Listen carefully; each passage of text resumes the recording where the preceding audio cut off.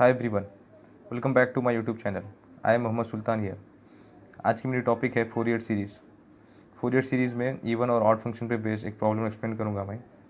इसमें देखिए पहले ये इवन और ऑड फ़ंक्शंस देख लीजिए। एक्स स्क्वेयर एक्स बार और कॉस एक्स वाले टर्म्स इवन फ़ंक्शन में आएँगे और ऑड फ़ंक्शन में x x cube sine x वाले टर्म ऑड फ़ंक्शन में आएँगे। अगर अपने पास प्रॉब्लम में एक इवन है और एक ऑड टर्म है तो ये टोटली ऑड माना जाएगा।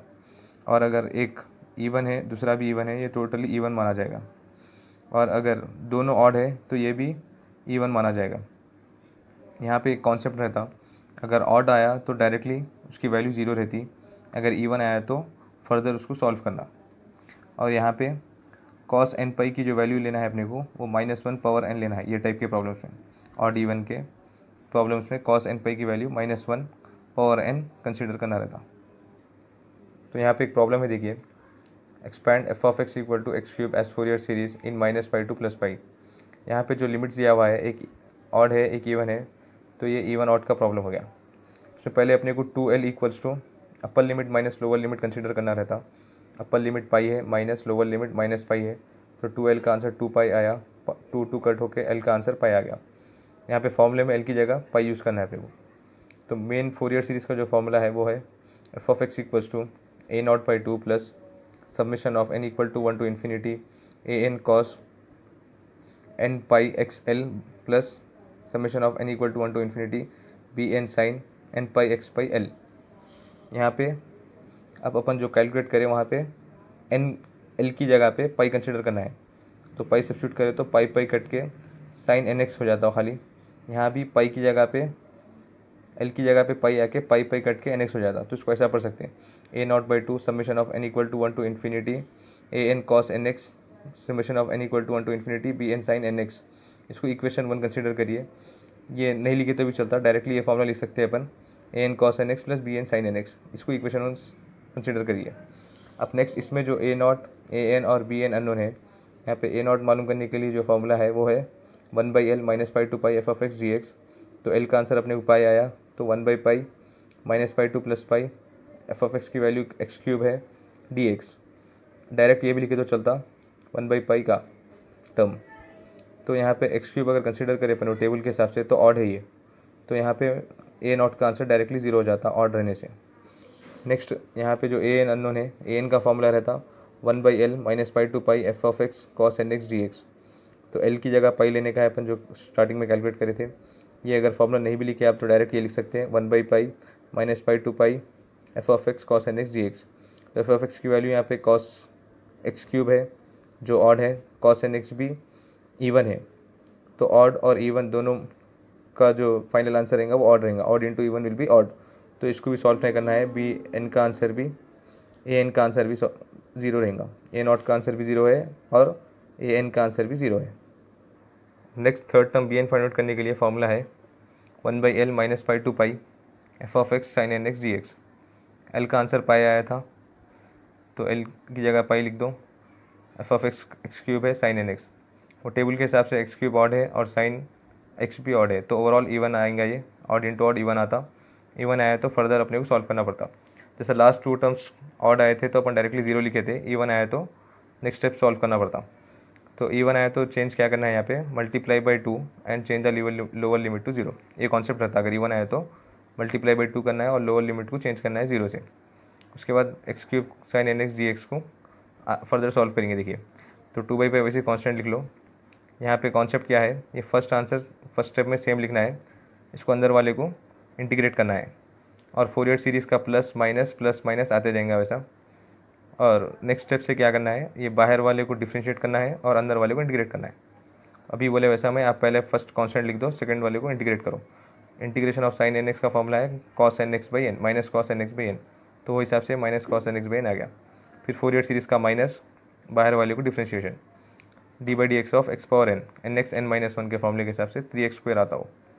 फिर अंदर वाले को integration minus cos n x by n cos n x का इंटीग्रेशन है sine n x by n. पहले से माइनस रहने से माइनस आ गया वो, और एन पहले से रहने से एन स्क्वेयर, और एक ऐड हो गया। फोर ईयर सीरीज़ का फिर प्लस फिर बाहर वाले को फिर से डिफ्रेंशिएशन थ्री वैसे रख देंगे एक्स स्क्वेयर को एक्स पावर एन से फॉर्मूले से फिर से डिफ्रेंशिएट करना है। N x n minus one वो आता टू एक्स तो ओवरऑल आता थ्री टू ज़ा सिक्स एक्स हो जाता। फिर अंदर वाले को फिर डिफरेंस इंटीग्रेशन तो ये हो जाता। Integration of sine n x है। माइनस कॉस एन एक्स तो पहले से माइनस रहने से minus of minus plus cos n x हो गया। पहले से एन स्क्वायर रहने से एन ऐड हो गया एन क्यूब हो गया। फिर फोर ईयर सीरीज़ का minus differentiation of x d by d x of x one आता सिक्स कॉन्स्टेंट वैसे ही रहेगा। फिर इसको integration integration of cos n x क्या है? साइन एन एक्स है। यहाँ पे पहले से एन क्यूब रहने से एन पावर फोर आता हो और प्लस है वो तो प्लस अब ये कॉन्स्टेंट आने के बाद अपने को यहाँ पे स्टॉप कर देना पड़ता। आगे नहीं करना है। जब तक कॉन्स्टेंट आया, जब तक डिफ्रेंशिएट करते रहना।